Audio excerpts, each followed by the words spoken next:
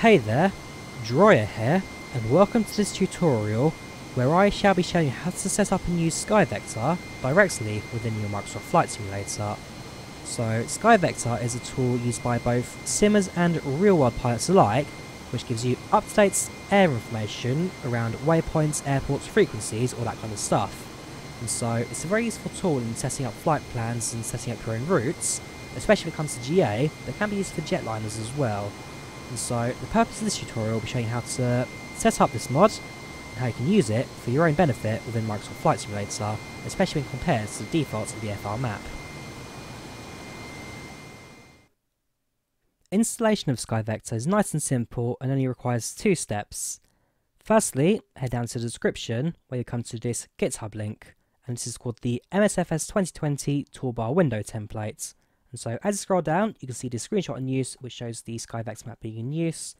And so, nice and simple, if you head over to code, downloads as a zip file, and when a pop-up opens up, just click on open or save, and it will now download onto your local hard drive.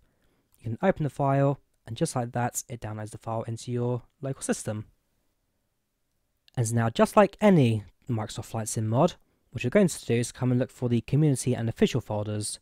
So this will be where you've installed the Flight Sim 2, in my case it's C Games Microsoft Flight Simulator. However, this will differ on the default location, whether it's on the Microsoft Store or Steam Edition, which are now both on screen. So head into your community folder, and what you want is this file here, fs-base-ingame panels-custom. Drag that into the community folder, and just like that, you've now installed the SkyVector panel into the simulator. Now compared to the default VFR map within Microsoft Flight Simulator, while this does give you some basic information about airspaces and airways, it's not nearly as much as what SkyVector gives you.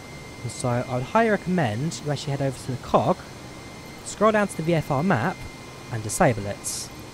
To activate SkyVector, you then head to the top and just click on the SkyVector button to open the menu on here. Now there are three different modes to SkyVector, you have the high altitude airways, the low altitude airways, and the VFR map. And so, depending on what you're flying, you'll use different map options. However, in terms of looking into VFR and figuring out how this all works, it's not too difficult to get your mind over. So, airports are highlighted by these blue rings, and if you zoom in, you'll be able to see the runway in the middle of that, the direction of its heading. Major cities and areas where population live are highlighted in yellow, and mountain ranges and hills are populated by this lateral mapping, and so the brighter it is, the higher the mountains are. In terms of the airways, both low and using similar methods, where airways are highlighted by lines and have waypoints either five letters or, in some cases, three letters in length, we find in airports.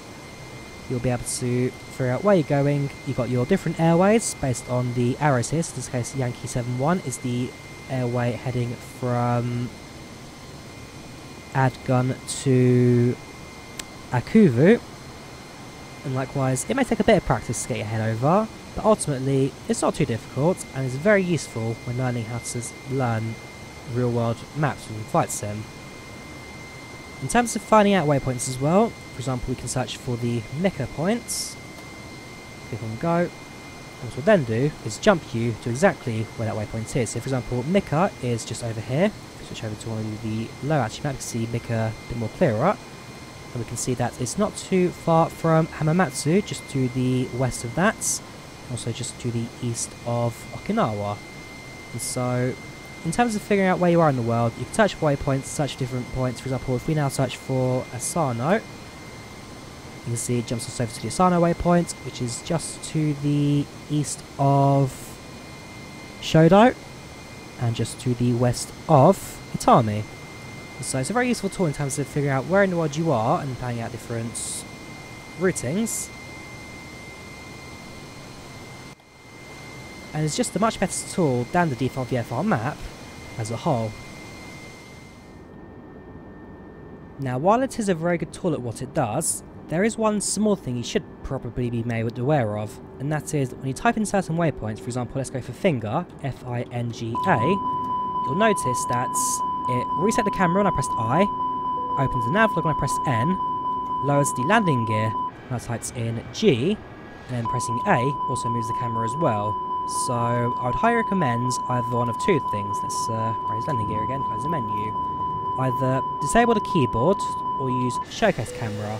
As now, we can for example press N as many times as you want, go into nav log, press G as many times as you want, once lower the landing gear. So either disable your keyboard or use the showcase camera, and that's why it won't affect your flights in any way, as I found out the hard way myself.